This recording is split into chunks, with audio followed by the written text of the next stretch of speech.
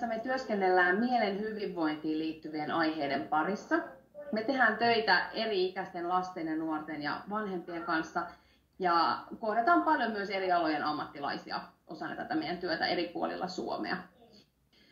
Meillä on käytössä semmoinen Friends-ohjelma, jonka avulla monenlaisia tunne- ja vuorovaikutustaitoja voidaan harjoitella osana sitä arkea ja osana erilaisia ympäristöjä. Meidän työ koostuu monenlaisista asioista. Yksi iso osa meidän työtä on koulutukset, mitä me pidetään, eli me koulutetaan eri alojen ammattilaisia uusiksi Friends-ohjaajiksi. Ja itsekin ohjataan monia ryhmiä kouluilla ja päiväkodeissa muun muassa. Tehdään paljon yhteistyötä muun muassa lastensuojelun ja erilaisten järjestöjen kanssa ja käydään esimerkiksi koulujen vanhempain illoissa puhumassa. Ja nyt kun on ollut tämä tosi erikoinen kevät tässä, niin me ollaan siirretty meidän toimintaa paljon verkkoon.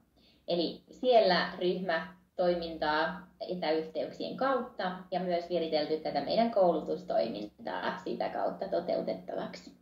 Sitten meillä on ihan uusi konsepti kuin Mutsi-frendit, eli tämmöinen vertaistuellinen ää, henkinen happihyppely vanhemmille aina viikoittain ää, tuolla asemalasten Facebookin kautta. Och jag jobbar med äh, Friends-programmet på svenska och främst är då ett program som eh, främjar barns, ungdomars och föräldrars psykiska hälsa och välmående. Och till mina uppgifter hör att utbilda lärare och andra professionella som jobbar med barn och ungdomar och med familjer.